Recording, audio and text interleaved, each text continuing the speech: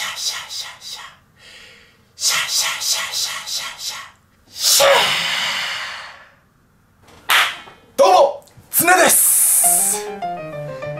今日はですねえー、ドン・キホーテにですね久しぶりにネタ探しに行ったんですね。そしたらですね面白いものがありました。それがこちら。じゃん超ぐっすり爆睡サプリ。寝る前に飲んで朝すっきり。今日はですねこちらとこのじゃんメガシャキこちらの2つ相対するこの2つをですね同時に飲んだらどうなるかっていうのをちょっと検証してみたいと思います、内臓で体を張るっていうのをちょっとやったことがないので正直めちゃめちゃ怖いです。この2つあれですよね。あのホラー映画のフレディってわかります？フレディ。シャシャシャシャシャシャ。シャシャシャシャシャシャ。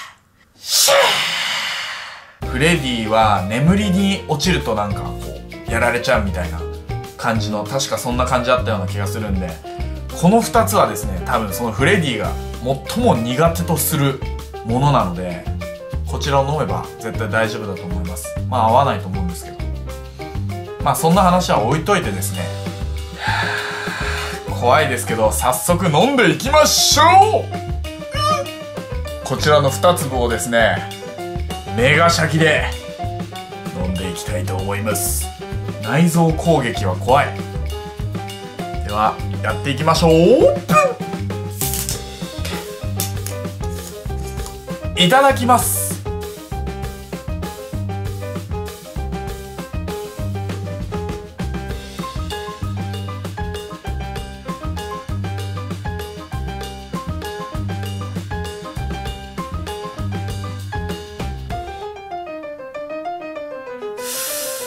今 撮影時間がですねえー、深夜の0時25分でございます。今から布団に入ってどちらが効果があるのか検証していきたいと思います。それではおやすみなさい。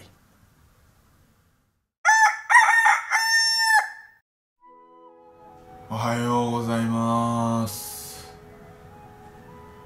現在朝の9時でございますがえー、正直もうめっちゃめちゃ眠りが浅かった感じがします。全然なんか寝れた感覚がないです。クマやばいですよ。クマやばくないですか、まあ、全然寝れるんですよ。メガシャキ飲んでるけど。スッて寝れるんですけど寝れるのに眠りが浅すぎてびっくりするぐらい。寝た感覚がない。フレディとかそんな余裕なかったな。しかもですねなんか終始なんかもうお腹の中が気持ち悪い感じがしてやっぱ混ぜて飲むとやばいのかなと思いました。今回の睡眠はなんかしけてたな。しけてる感じがする。すごいしけてる。眠りの質がしけてる。これ混ぜて飲むものじゃないっすね。ええ。皆さんはこんな飲み方決して真似しないようにしましょうね。眠りの質がしけます。気をつけましょう。この動画がもしよろしければグッドボタンを。パソコンの方はこちらをクリック。スマホの方は下のチャンネル登録ボタンからチャンネル登録の方よろしくお願いします。また Twitter の方もやっておりますのでぜひそちらの方もフォローの方をお気軽によろしくお願いします。それではバイバーイ